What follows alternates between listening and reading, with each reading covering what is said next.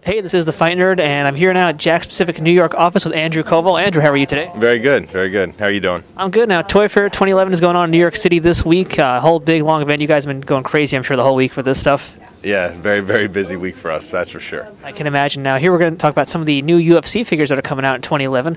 So, Andrew, what's uh, new? I, I noticed the first thing actually is that you guys have new packaging for the figures. Yeah, we have uh, new packaging for the uh, our deluxe figures and for our Ultimate Battle 2 packs. Uh, we're also doing face scans for all figures in 2011, so that's uh, obviously a, a, big thing to bring uh, the, I guess, the true real facial features of every fighter. and then we're going to be incorporating some chaser figures in our basic octagon. So that's what's new. That's what's new for 2011, and uh, I think you can expect to see some some new fighters and some, uh, I guess, new figures of people associated with UFC. I mentioned those chaser figures uh, in the ring and also in some of the belts you showed me earlier. Uh, so explain a little bit more about what's going to be uh, with those new cages and the new belts. We're going to be incorporating chaser figures like this uh, Rampage Jackson from, the, if you can see this, the Rampage Jackson, uh, an Ultimate Fighter Edition, as well as possibly a Chuck Liddell. And uh, you might even see Arianny and uh, Dana White included. So there'll be limited chaser figures for, I guess, the, the you know, make them hard, hard to get.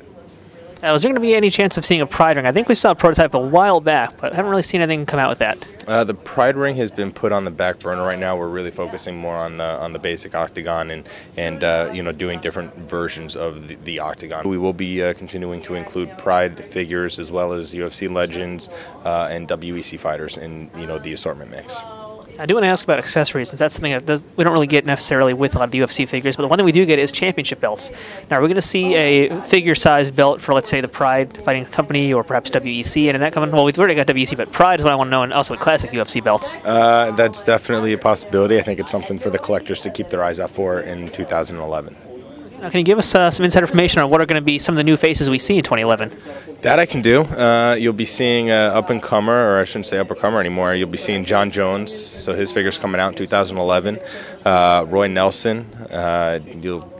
I, I, mean, I think at this point, I think it's fair to say you'll definitely be seeing a Dana White. Uh, I know we're working on a Bruce Buffer, um, and different variants of I guess some of the popular fighters, such as uh, there'll be another Brock, another Tito, and we're trying really hard to uh, have Randy Couture included in uh, an assortment mix come fall 2011. I know Randy's had some issues with his likenesses. That's what's been holding it back is just him and his likeness rights.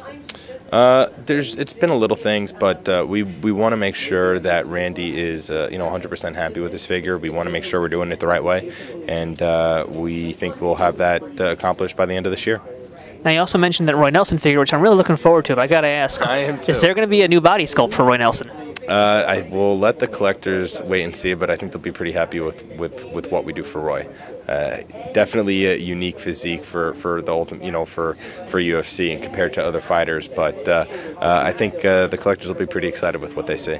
Now, are there going to be any more exclusives at any UFC fan expos through the year, or maybe even San Diego Comic Con?